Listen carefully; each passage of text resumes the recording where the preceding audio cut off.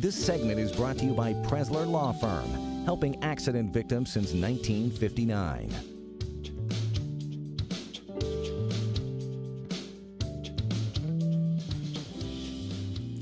Thank you so much for joining us on this Wednesday, March 11. You're watching The Morning Show.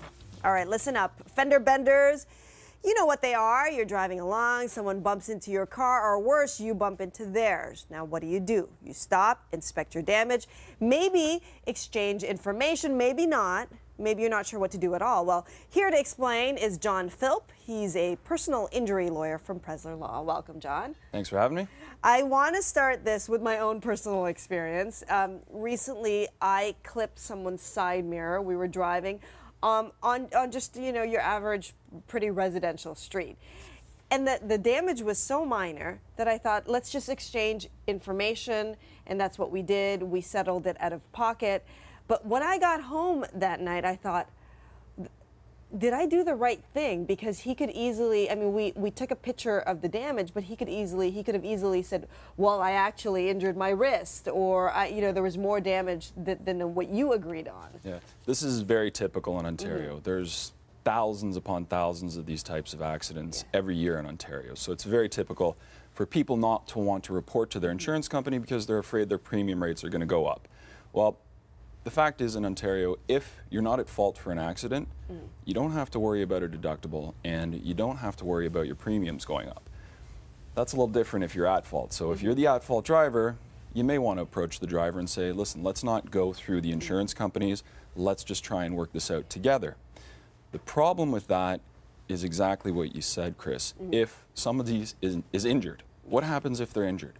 Um, with minor accidents, mm. you know, for example, if if you're on the highway mm -hmm. and it's stop and go traffic and someone bumps into you from behind mm -hmm. and it's barely any damage to your car, that happens all the time. Yeah. And with these types of cases, you'd be shocked at how many these come across my desk where people three, five days mm -hmm. later, that's when the onset of whiplash symptoms mm-hmm. come on. And you don't know at the scene. Yeah. So I always err on the side of caution. Always report always report. And you also said something that's very interesting during the break, and, and, and, that is that you cannot in Ontario sue someone if there has been no injury. Well, it's not that there's no injury. Mm -hmm. In Ontario, you can't sue if, if there's property damage to your vehicle. Mm -hmm.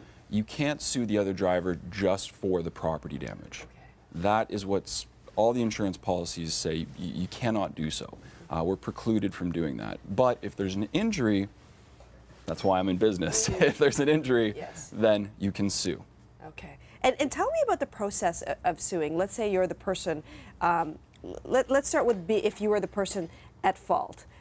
Do you, uh, you know, do you get, how do you defend or protect yourself from someone saying that they were injured if maybe they weren't as injured, they weren't injured at the scene? Well, listen, in every circumstance yeah. when you're involved in an accident, there's a couple things you need to be very mindful. If you're at fault or if you're not at fault. Mm.